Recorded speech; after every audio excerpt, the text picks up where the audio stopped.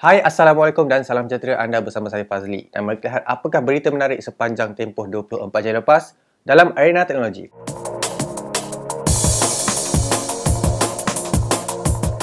Pada acara Acer Evolution Night semalam, Acer Malaysia telah memperkenalkan siri komputer dan laptop keluaran terbaru mereka. Antaranya adalah Acer Variety Z4660G, Acer Variety N4660G dan Acer TravelMate X3310. Acer Variety Z4660G adalah sebuah komputer all-in-one bersaiz 24 inci yang dikuasakan oleh CPU Intel Core i3 dan i5 generasi ke-8. Manakala Acer Variety N4660G pula adalah komputer padat yang hadir dengan komponen-komponen berkuasa dan menyokong sehingga 3 paparan skrin pada resolusi 4K. Bagi Acer TravelMate X3310 pula, ia hadir dengan saiz paparan 13.3 inci yang dikuasakan oleh CPU Intel Core generasi ke-8.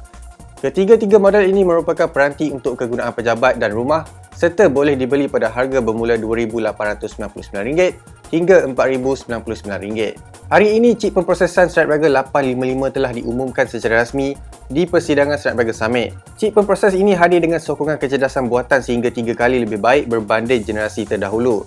Menyokong imbasan cat jari ultrasonic 3D sonic sensor dalam skrin Chip ini juga merupakan yang pertama yang menyokong rangkaian 5G dan Samsung Galaxy S10 akan menjadi peranti terawal yang menggunakan chip Snapdragon 855 ini. Hari ini juga Spotify Malaysia telah berkongsikan senarai penyanyi, lagu dan album paling popular di platform perseriman mereka. Untuk tahun ini, Datuk Siti Nurhaliza kekal menjadi artis tempatan dengan jumlah perseriman tertinggi.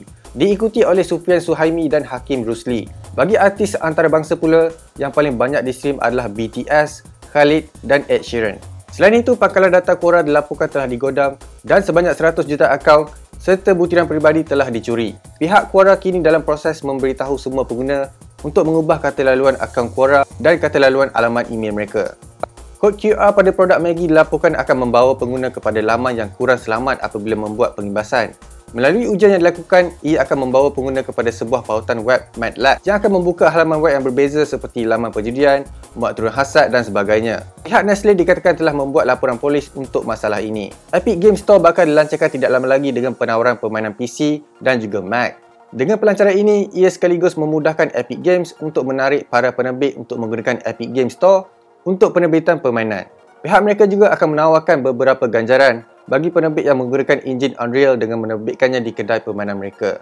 Akhir sekali, Instagram kini dilihat sedang menguji antara muka baru mereka. Antara muka ini akan memaparkan perkongsian gambar dan video daripada pengguna lain dalam bentuk kad dan bukannya dalam bentuk garisan. Antara muka ini akan memaparkan perkongsian gambar dan video daripada pengguna lain dalam bentuk kad dan bukannya dalam bentuk garis masa seperti yang sedia ada. Namun ia hanya sekadar ujian dan tidak diketahui sama ada akan diperkenalkan secara meluas atau tidak. Jadi itu sahaja rakaman ringkas sepanjang tempoh 24 jam lepas. Jumpa lagi esok untuk Amas 24.